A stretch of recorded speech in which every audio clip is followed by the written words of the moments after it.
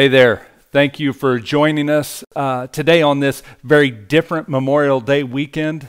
Um, it's different in our house. I imagine it is in, yours as well. But I'm thankful that you're here to spend this time with us. Um, just give you a heads up. We're, we're going to move the service around a bit today. Uh, we'll do the message up front, and then the singing and communion will, will come after that. But we're going to get back into this this series that we started last week. We're calling Strangers in a Strange Land. And I, as, I, as I think about that, 122 years ago, I turned 17. And when I turned 17, I joined the Navy. I'd never been on a plane before. Uh, we flew to um, Orlando, where I went to boot camp, and you, you come in, and then suddenly the next day, your whole world starts to change. Um, I went from having this super cool mullet to being completely bald and wearing bell bottoms, and I had a, a some sort of dog bowl that they gave me for a hat. And it, everything just was so very different. And I wasn't a kid that went to, you know, ROTC, so marching was something very, very new for me and very difficult to, to learn. but it, as I looked around, and I realized that uh, the whole world was different. And I felt like I didn't belong, and I'm thinking, what in the world did you get yourself into? As um, you know, I'm dressed different and talking different. As a matter of fact, not talking much at all, and walking different, and everything around me said, dude, you are a stranger in a strange land. Oftentimes, I think Christians feel that way as we get into our Bibles and we know what it looks like, or we read what it looks like to follow Jesus, but that, that life is so very different than what we experience. And we say, well, if I'm supposed to be associated with Jesus, this looks very different. How in the world could I do that? Uh, it, it all seems well and good here, but I don't know that it works in real world. It's just, I, I'd be a stranger in a strange land. But you can flip that picture on its head too, as those who didn't grow up in church and those who come from a very different background come into church world and suddenly folks talk different. They say things like blessed and for some reason everybody wants to hug and we've all got, you know, corny bumper stickers.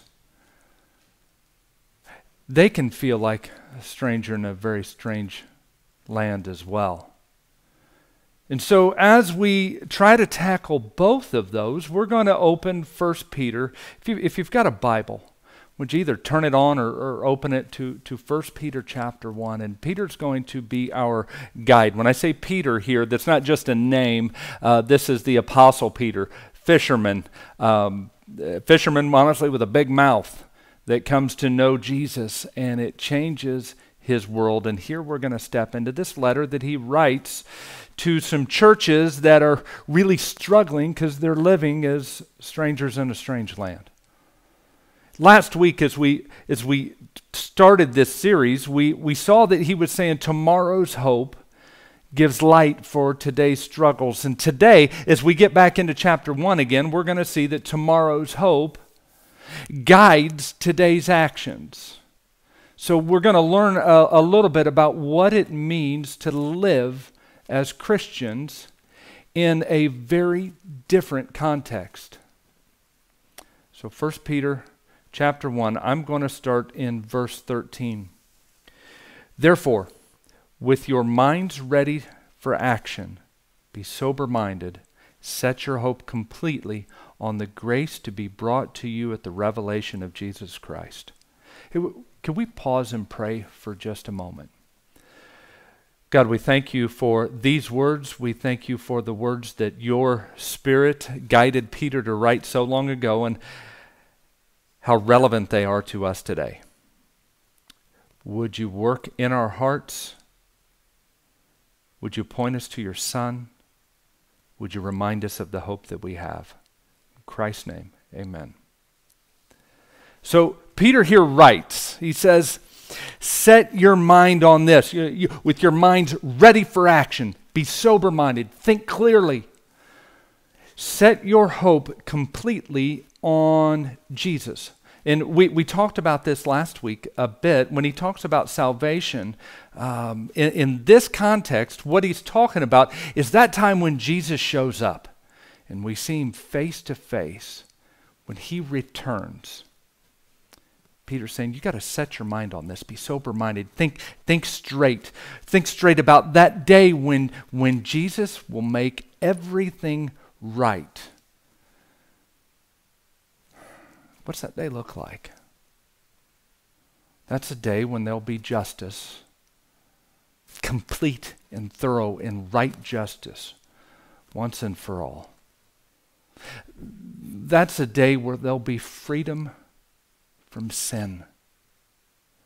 Think about it. When I, when I talk about sin, what I'm talking about are those, those things that you do that you're not you know you're not supposed to do, but also the things you know you're supposed to do that you don't do. And who's kidding who? That stuff you let hang out in your heart. Freedom from, from all that, freedom from the consequences of that, freedom from the, the struggle with that. But also freedom from sickness and death, freedom from all of that old system that's brought to an end as Jesus makes everything new and makes everything right. Peter says, with that, put your focus your mind, think clearly about that. Gird up your mind is literally what the text says. It says, gird up your mind. Now, that, the reason why that doesn't make a lot of sense is because we don't live in their world. But in their world, um, you know, dudes wore long robes.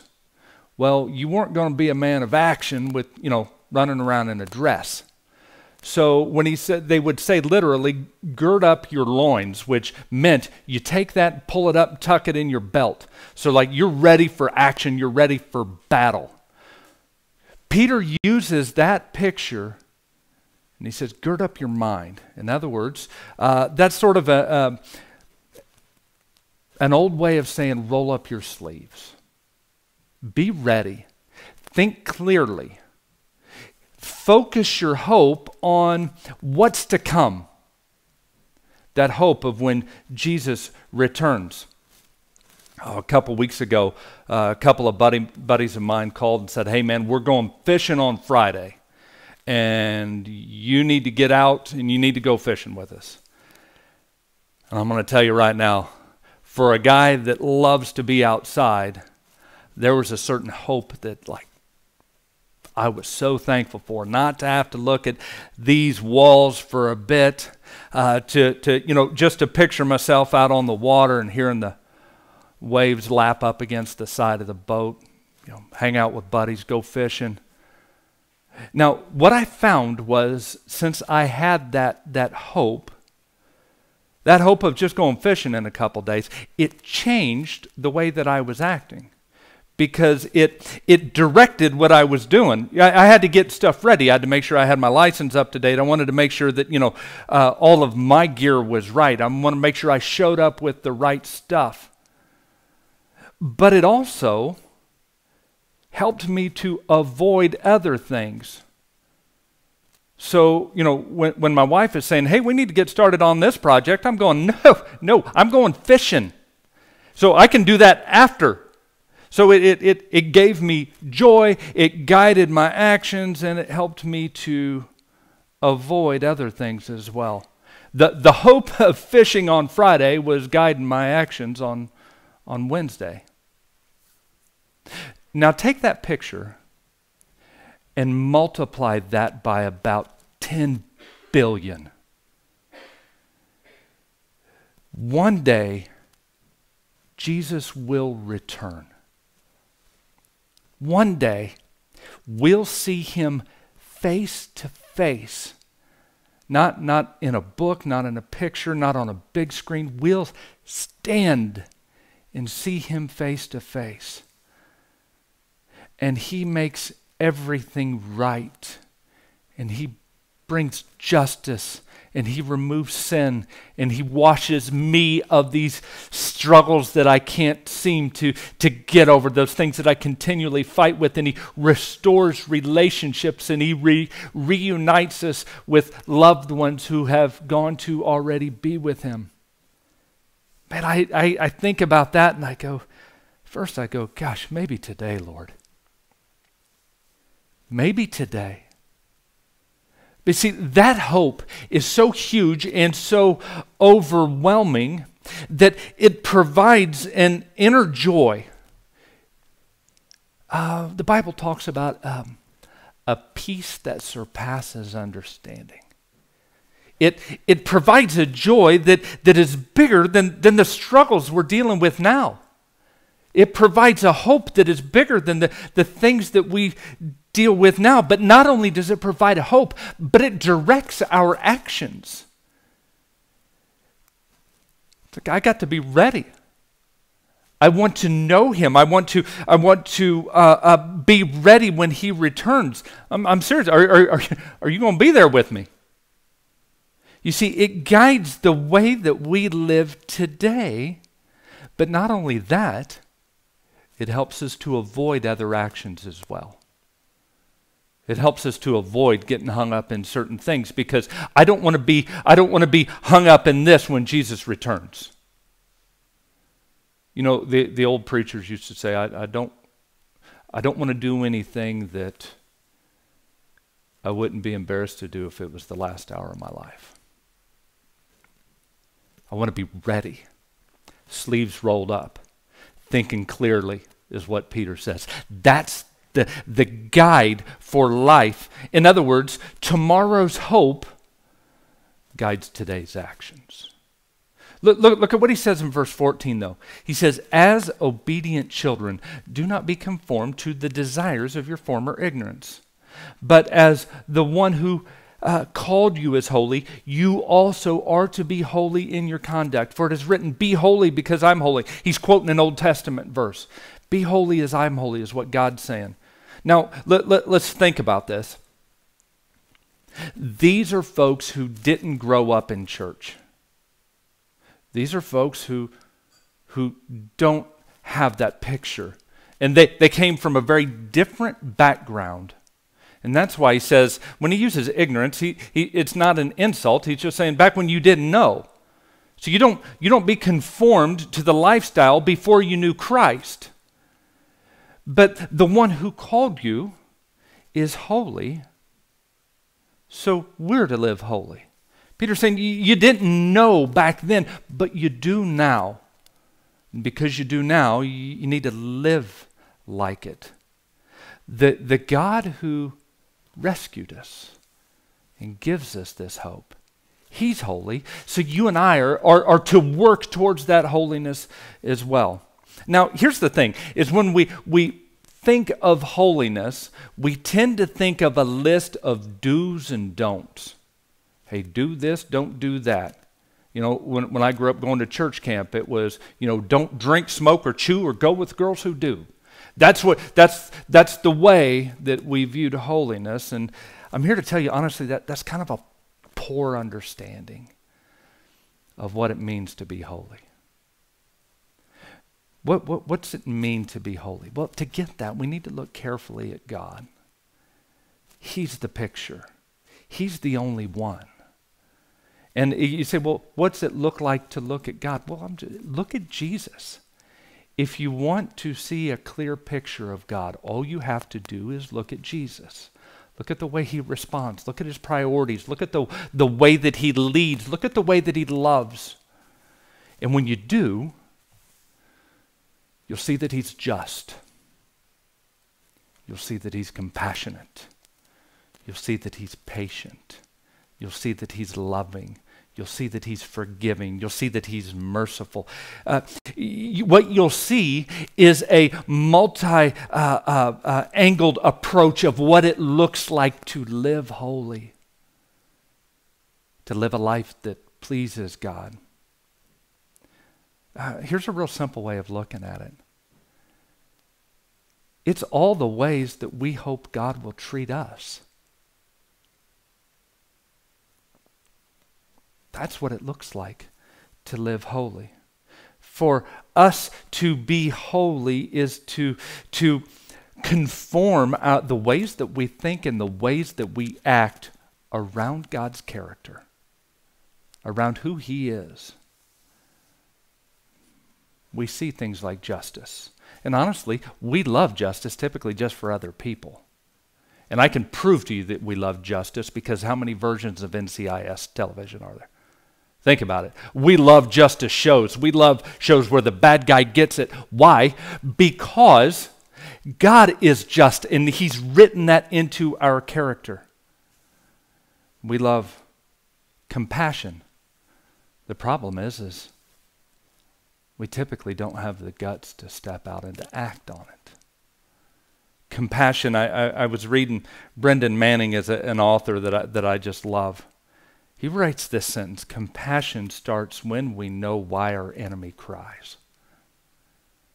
Man, that'll pack a punch. When we care enough to know the troubles of those that we don't like. Uh, here, here's another way to look at it. Paul gave a similar list. Uh, in the church world, we call it the fruit of the Spirit love, joy, peace, patience, kindness, gentleness, goodness, and self control. Those are the list that when, when that starts to work itself out in our lives, in a lifestyle of worship and communication with God, we see what holiness is. Remember, it's because we set our hope, we set our plans on seeing Jesus. You see, the hope of tomorrow, tomorrow's hope, gives light to today's struggles, but it gives uh, purpose to today's actions as well. And here, here's the thing we can't mess with the formula. I had a friend that, that was a scientist, and he would tell me, Steve, whenever there's a formula, it has to be followed exactly. So if it says uh, you mix A with B and you stir it 12 times and then add C and stir it another 12 times. He said if you add A, B, and C and then just stir it as many times as you want, you've absolutely ruined it because you didn't follow the formula. Now, now why that's important here is we have to pay attention to the formula that God gives. He calls, and then we change. So he calls grace. He provides us grace and love, and he brings us to him. And then we go through the work of conforming our lives to him. Here's where we get this formula all screwed up. I hear this over and over and over. I'm going to get my life together, and then I'm going to come back to church. When we, when we do that, we've, we've ruined the formula. Because honestly, you're not ever going to get your life together apart from Jesus. He's the hope. He's the source. He's the one who will make it right. That's why he didn't say, Come to me, everybody who's got it together. He said, Come to me if you're all messed up and you're tired. I'll give you rest. And then our lives are bent around his purposes and they're reformed, and he gives us joy. But he's not done here. Look at verse 17. If you appeal to the Father who judges impartially according to each one's work. You're to conduct yourself in reverence during your time living as strangers.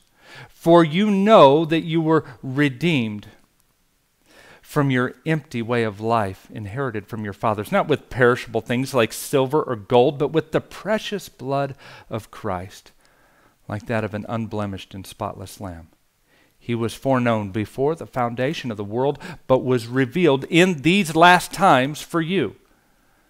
Through him, you believe in God, who raised him from the dead and gave him glory, so that your faith and hope are in God.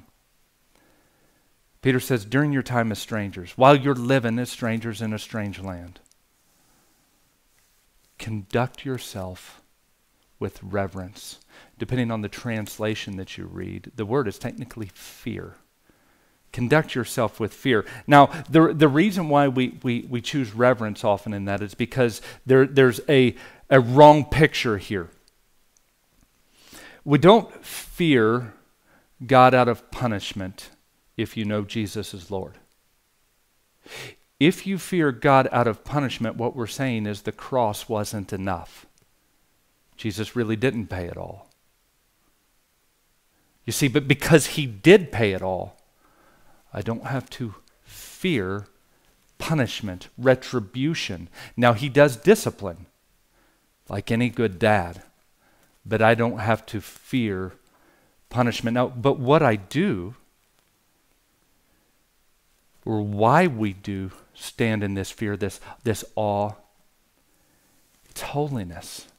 It's because of who he is. And let, let, me try to give this picture. We, we read and we like that, that God is love. And we know that God loves people. And not just He has love, He is love. In other words, He cannot not be love. He's love through and through. But He's also holy, perfect through and through. You see, so when the object of His love, people, you and I, are not holy, there's, there's a tension. There's a tension that has to be resolved. Either he could end the love and end us, or resolve the, the love by forgetting that he's holy. Well, that doesn't seem to make sense. The other option was for him to come into the scene himself, to write himself into the story and to come and to live a life that you and I would refuse to live.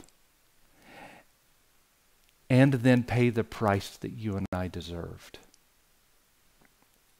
He took the punishment so that we didn't have to. When I step back and look at that, at a God who loves so much, the Bible says, th- says, this is love, not that we loved him, but that he loved us and he sent his son to to pay the price. And I look at his holiness. And if you want to see what holiness, the, the, this, this concept of, of, of, of complete purity and, and what is required of that, look at the cross. And when I see his love and holiness together, I stand back in awe and a holy sort of reverence. You see, yes, God is our dad and He's our father, and we have this intimate relationship, but we need to be cautious when we consider who He is. He's incredible, and there's nothing else like Him. And because of that, we stand back carefully and we recognize that we don't, by our own nature, belong with Him. And yet He loves us so much that He's brought us into His family and He's made us His kids.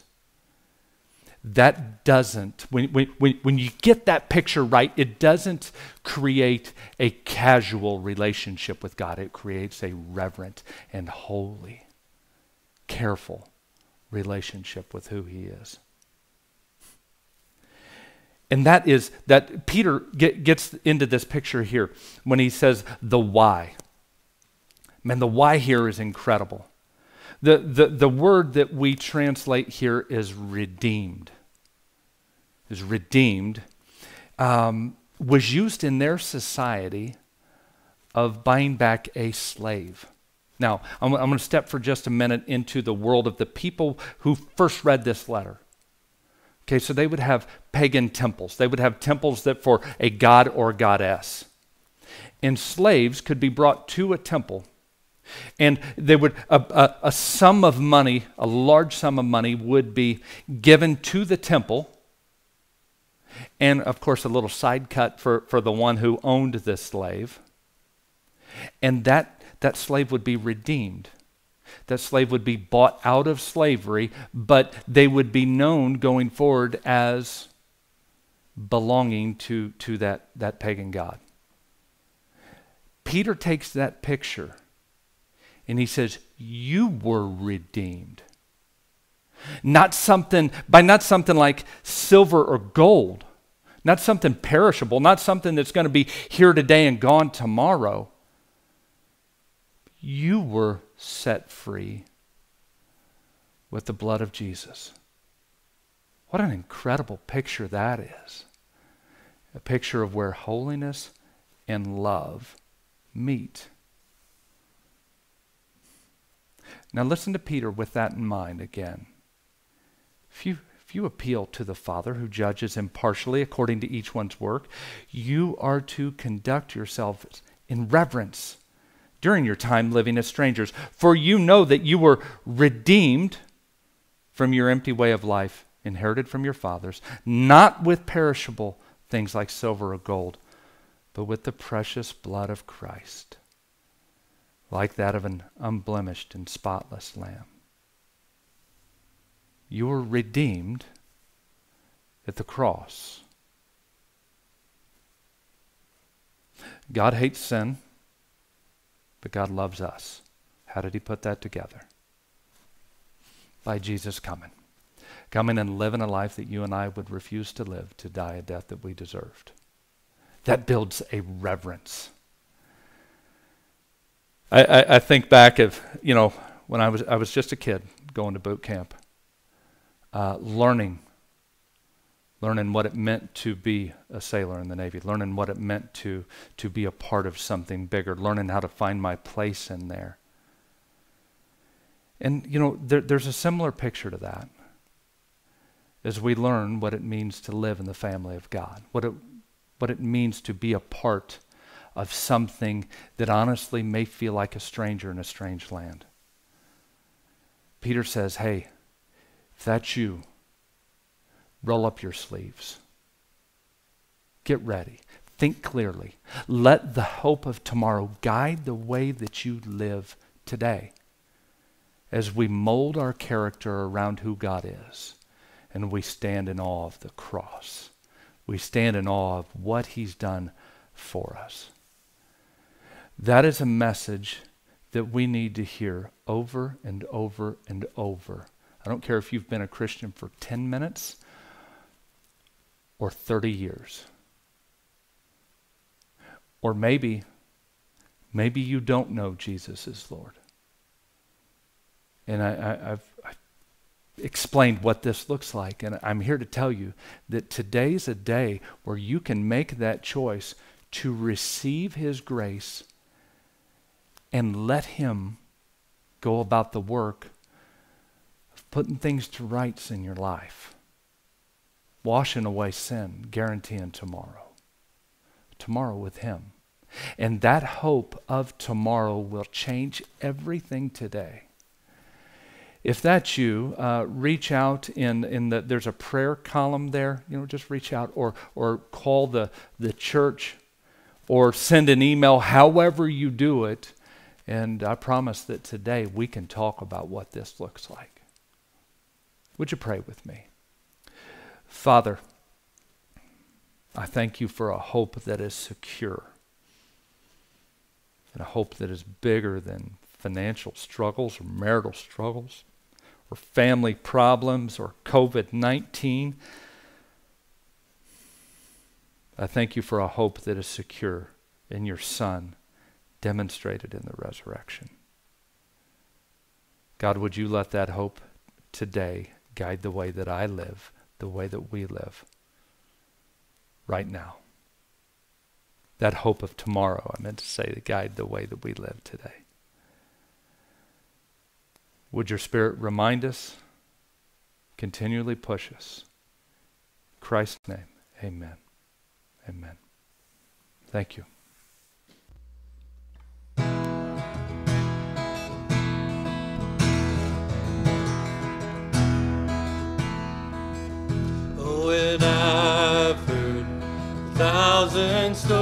Stories of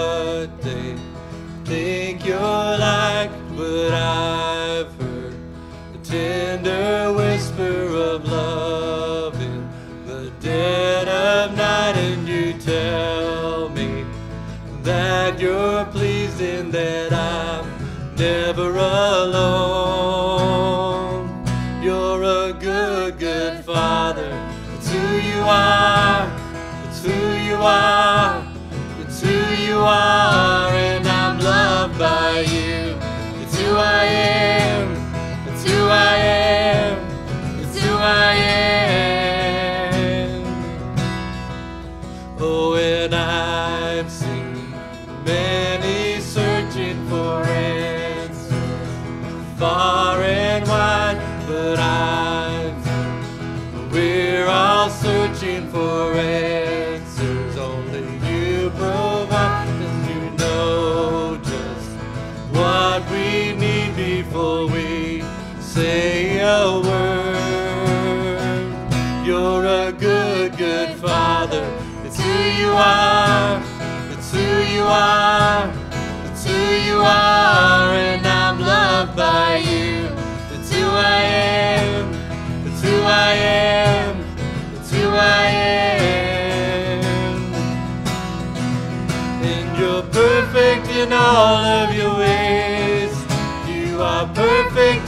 all of your ways.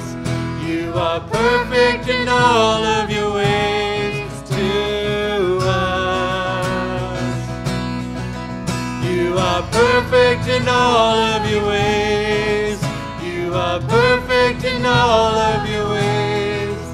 You are perfect in all of your ways.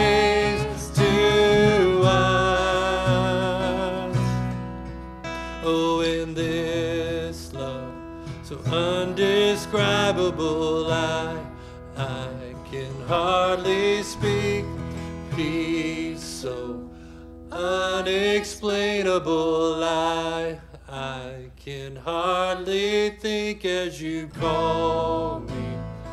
Deeper still as you call me. Deeper still as you call me. Deeper still into love. Love, love, love. You're a good, good father.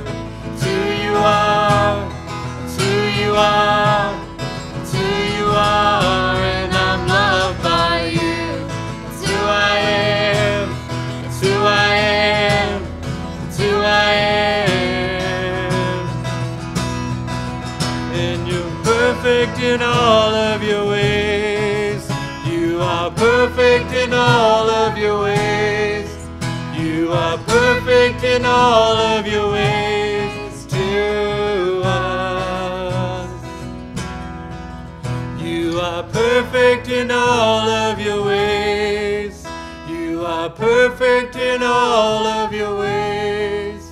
You are perfect in all of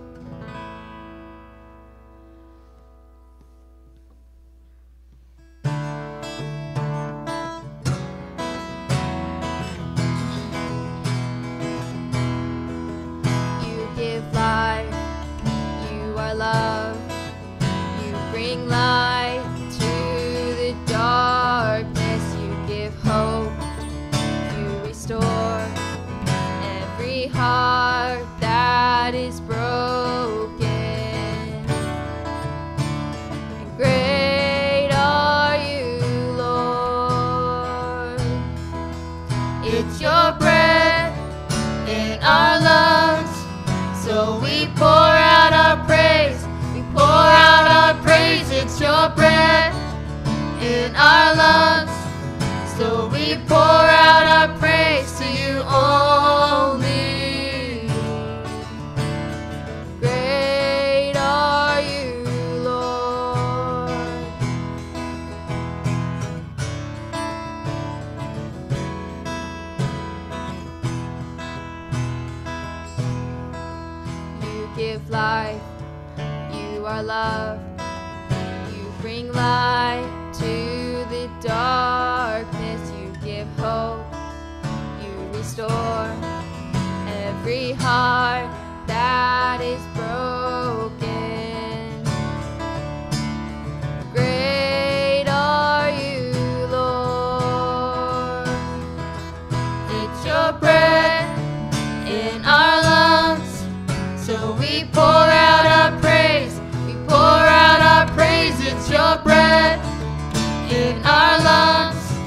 so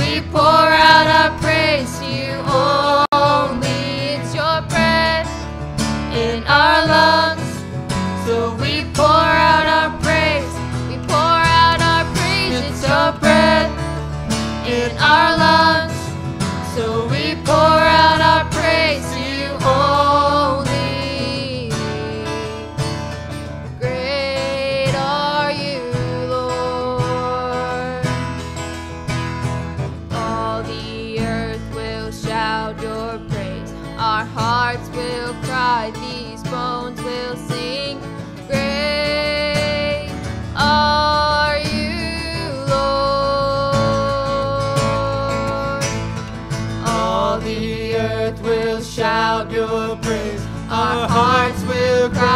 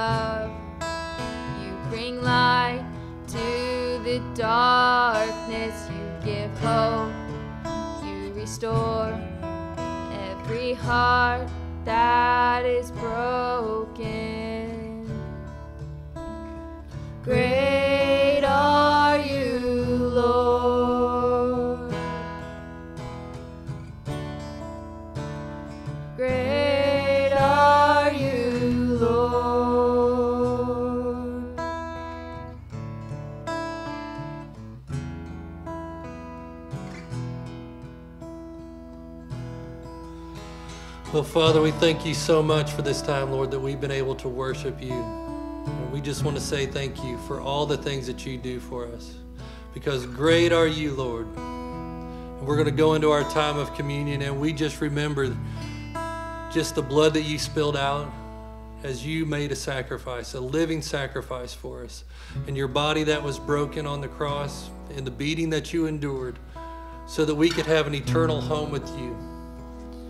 And Lord, we just want to say thank you because you alone are great, great and mighty and worthy only to be praised above all men and all things. Great are you, Lord.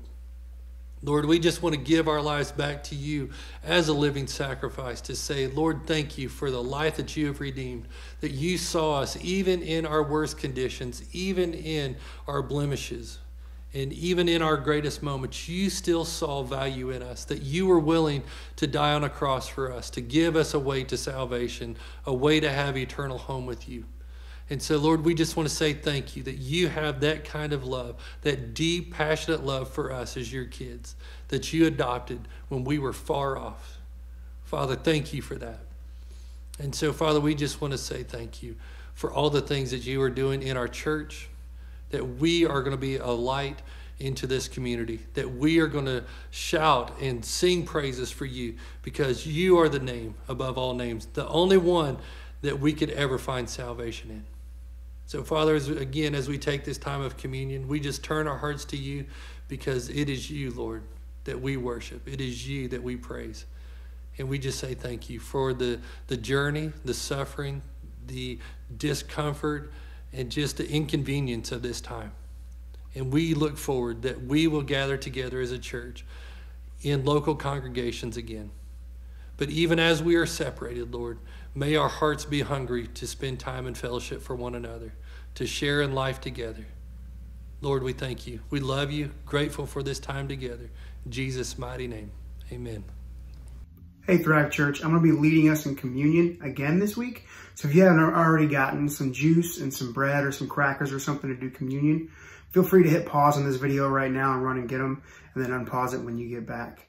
Uh, Steve just finished talking about how tomorrow's hope guides today's actions. I really wanted to zero in on that by looking a little bit more at verse 17. Uh, Steve went through it. I'm gonna, I really like the way the message version puts it. It says, you call out to God for help and he helps. He's a good father that way. But don't forget, he's also a responsible father and won't let you get by with sloppy living. Just like any good dad, he's going to give you some grace, but he's going to call you back to making sure you do the right thing.